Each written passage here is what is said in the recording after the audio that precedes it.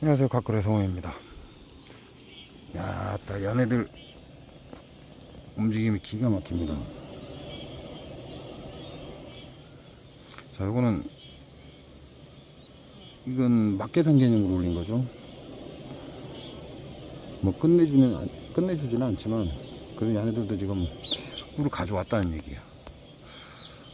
오히려 별 볼 일 없는 게 요 연어 이게 장수 농약농법에 살아남은 마지막 벌통이에요.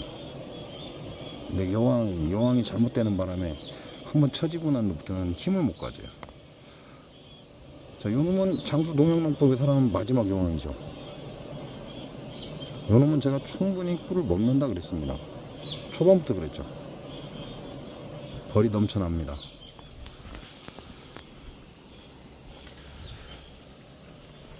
뭐, 연도 그렇게 세진 않고, 야도 별 볼 일 없고, 자, 야는 힘을 갖췄어요.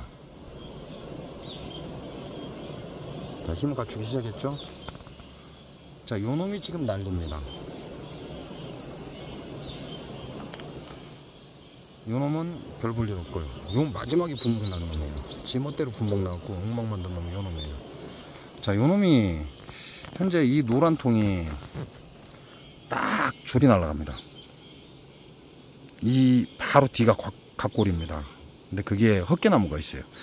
그리고 얘네들이 여기서 떠서 이리 돌고 또 하나는 이리 돕니다. 6시 방향으로 떠서 바로 90도로 꺾어버려요. 바로 이 뒤에가 헛개나무가 있습니다. 양쪽 다 저희 밭이에요. 저희 밭이고 오래전에 헛개나무를 심은 거고 이제 제가 이번에 이 봉장 앞으로 10그루 가까이 헛개나무를 심어 놨습니다. 얘네들은 꿀이 나올 리가 없죠.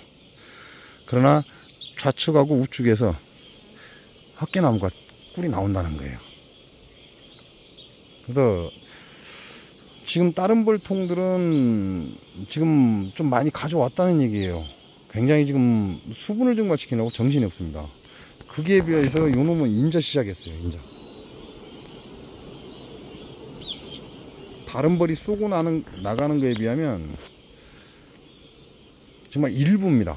근데 야는 지금 엄청난 양이 쏘고 나가고 있고 그 다음으로 야가 좀 쏘고 나가고 있어요. 그 나머지는 조금씩 조금씩 쏘고 나가긴 쏘고 나가고 있기는 하지만 가장 강하게 쏘고 나가는 놈이 이놈이에요. 그 야는 딱 뜬과 동시에 이렇게 돌아갑니다.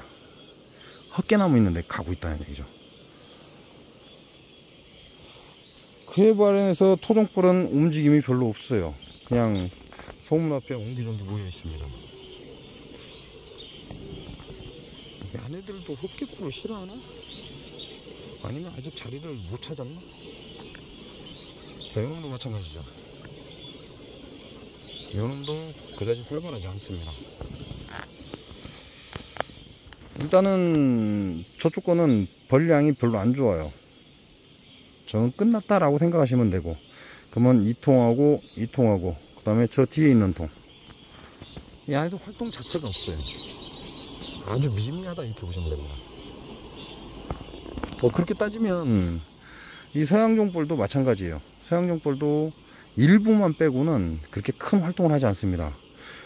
노란 통, 그 옆에 통 조금 활동하고 그 다음에 요 놈이 좀 활동을 하고 요거죠 요거 요게 좀 활동을 하고 그 나머지는 조금씩 조금씩 밖에 활동을 안 해요. 근데 야가 굉장히 심하게 활동하고 있는 거죠.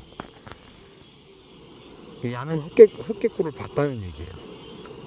날아가는 방향, 그 다음에 야네들이 지금 움직임 자체가 굉장히 심합니다. 그 얘기는 헛개꿀을 봤다는 거죠. 지금 이때쯤이면 헛개꿀이 나옵니다. 뭐 지역마다 조금씩 차이는 있겠지만, 아, 지금 헛개꿀이 지금 터집니다. 자, 비도 왔고, 그리고 어, 제 봉장을 기준으로 쌀이나무가 꽃이 폈어요. 여기는 중부지방이죠. 여기는 500고지예요. 500고지이기 때문에 500고지에 해당하시는 분들은 한번 생각해 볼 만하죠. 자, 500고지에 쌀이나무가 폈습니다. 그리고 헛개꿀이 헛개꽃이 폈습니다. 그러면 여러분 봉장에서 여러분 봉장이 400에서 500, 600 이런 고지라면 아 지금 헛개가 피기 시작했구나 이렇게 생각해 볼 수 있고 또 그 윗지방들 500고지 이상 되는 지방들은 헛개꿀이 들어올 것이다 라고 예상을 해보면 될 것 같습니다. 현재 나오는 꿀이 헛개와 쌀이꽃 뭐 그 외에 다른 꿀도 조금씩 있겠지만 헛개꿀이 지금 꿀량이 많습니다. 그리고 기간이 길어요. 그리고 여러분이 생각하는 것보다 쌀이가 쌀이 나무가 꿀이 많습니다. 그래서 어, 야생화를 받으려고 하시는 분들은 준비를 하시는 게 좋죠.